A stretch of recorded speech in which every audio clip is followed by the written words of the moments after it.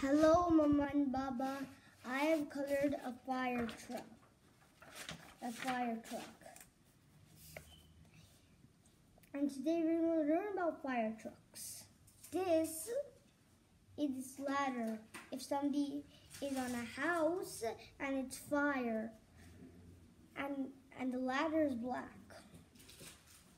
And this is a box for for the fire to get the firefighters to get their hoses or something they need to, to get inside.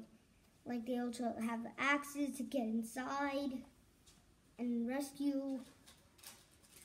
And that's what's in here in this box. And it's red.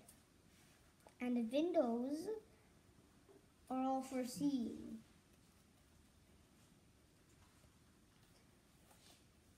And these little lines are for wiping if, if there rain. And these are wheels, they're red too. These are the lights. And and this is its phone number. And that's all we learn about fire. And and this is also alarm for, to warn people that that that go go away. It's it's emergency. And that's all we learn about. That's all we learn about fire trucks. Bye bye, Mama and Baba.